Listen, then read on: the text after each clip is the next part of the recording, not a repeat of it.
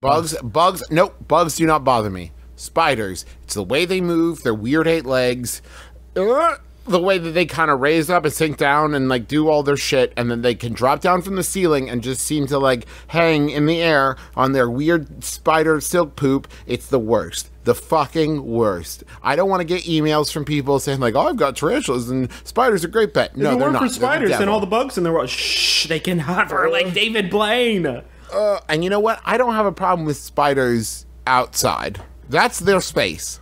I get it, man. When I'm out there, I'm somewhere I don't belong. But when they're in my house, Isn't that weird how that works? If I if I see a squirrel as I go about my day to day, nothing. If there was a squirrel in my house, I would light that pile of oily rags I keep in the basement and burn that motherfucker down.